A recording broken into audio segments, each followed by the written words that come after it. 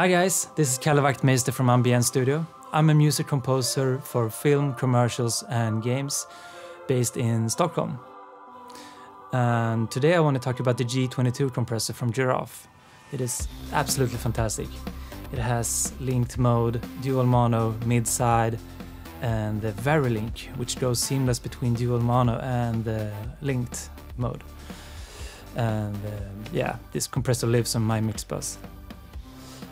It's not just about compression, it, it has an amazing tone, and depending on how hot you set the input and output levels, you get also a nice saturation.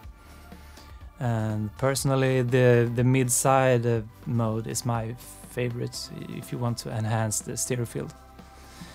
Um, I'm gonna show you a song where I first set it up on the, the drum bus, and then on some pads, and then on the full mix. Uh, Alright.